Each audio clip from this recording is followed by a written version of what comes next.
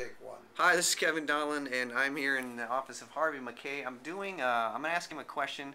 It's it's around the idea of think and get hired. Um, Harvey, you're at the top of your industry, the top of your game. I would like you to ask you, how did you get hired for this job, if in fact you were hired, or if, you, if it wasn't hired that you were? How did you get your last job, and then what advice would you give someone who's about 22, 23, going into their first uh, first job search? Well, thank you, Kevin. First of all, I, I love it. Think and get hired.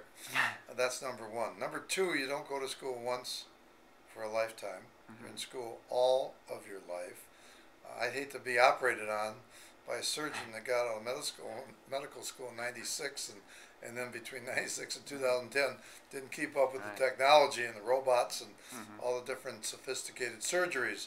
So that's the same thing. Number one, uh, how do you get a job? First of all, put it in reverse. Mhm. And where did I get my job? Well, I've only had one job Yeah.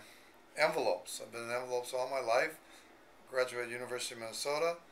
Got right out and started selling envelopes. Mhm. Five years later, started this company, Mackay Envelope Company, and a hundred million dollar company later, and 600 employees. Mhm. I'm a happy camper. Right. So I've really never been out there interviewing for a lot of jobs, but I have enhanced my skills. Mhm. So I say to every viewer out there, uh, once you graduate uh, from, you know, MBA program, business school, whatever, history major, Mhm. which I was, Mhm.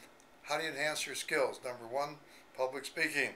Good. You have a you have a speaking vocabulary, writing vocabulary, Mhm. okay, reading vocabulary. Mhm. If you're a public speaker where you can sell your ideas one on one, that's very, very important. So Toastmasters, one of the best kept secrets in America. Go back to Dale Carnegie. Mhm. Take the Dale Carnegie program. Uh, just keep enhancing your skills and build your network. You will have dramatically increased the probability you will get the job you want over a long period of time, not short term. Thanks, Harvey. You're welcome.